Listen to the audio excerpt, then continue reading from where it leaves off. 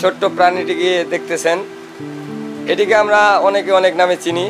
কেউ এটিকে গিরগিটি বলে, অনেকে তক্ক নামে চিনে, আবার অনেকে বলে রক্তচোষা প্রাণী। এটির মূল্য শুনলে আসলে কল্পনার মতো মনে হয়। এটির মূল্য এক কোটি টাকা, আবার যেটি হাঁসের পায়ের মতো, সেটির চাহিদা আরও বেশি, সেটিকে সেটির দাম নাকি দুই কোটি টাকা। এরকম আমরা অনেক ভিডিওতে দেখেছি। হয়তো আপনিও দেখেছেন, এটির সর্বোচ্চ লম্বা এক ফিট পর্যন্ত হয়ে থাকে। আর এর গায়ের রং কাল বিকেলে এটির রং পরিবর্তন হয়। আর এরকম এক কোটি টাকা আপনার আশেপাশে ঘুরে বেড়ালে আপনি হয়তো ভয় পাবেন, নয়তোবা ধরার চেষ্টা করবেন, কারণ সেই বুদ্ধি, চিন্তা আপনার মধ্যে আছে। আর যদি শিশুরা দেখে তাহলে কি করতে পারে? কেউ কি বলতে পারবে? আর এরকম এক পরিস্থিতিতে কিছু বাচ্চা মাঠে খেলতে গিয়ে তাদের চোখে পড়ে এক কোটি টাকা। তারা বুঝে না ভয়, বুঝে শুধু টাকা। আর সেটিকে ধরার চেষ্টা করে আস্তে আস্তে এগিয়ে যেতে লাগল গর্তের দিকে।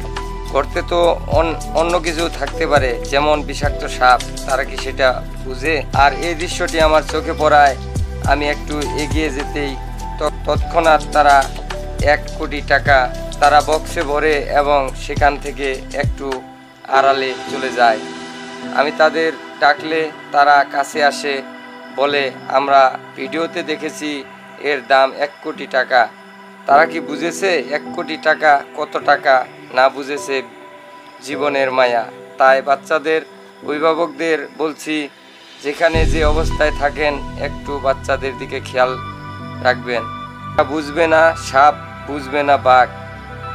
পড়তে পারে বিপদে।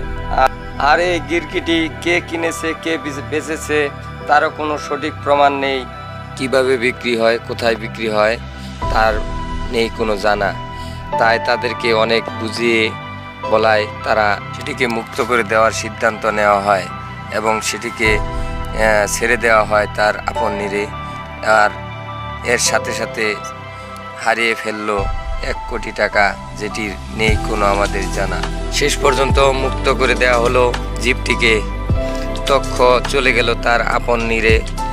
আমার পুরো ভিডিওটিতে একটি বিষয় শুধু বোঝাতে চেষ্টা করেছি।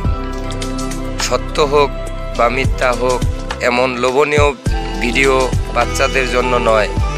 একটু ভেবে চিনতে বাচ্চাদের হাতে এমন ভিডিও দেওয়া উচিত। তাই বন্ধুগণ, আজ এই পর্যন্তই। আমার ভিডিওটি যদি ভালো লেগে থাকে, তাহলে অবশ্যই আমার চ্যানেলে একটি লাইক দিবেন এবং চ্যানেলটি সাবস্ক্রাইব করবেন। আজ এই পর্যন্তই। আল্লাহ হাফেজ। ভালো থাকেন, সুস্থ থাকেন।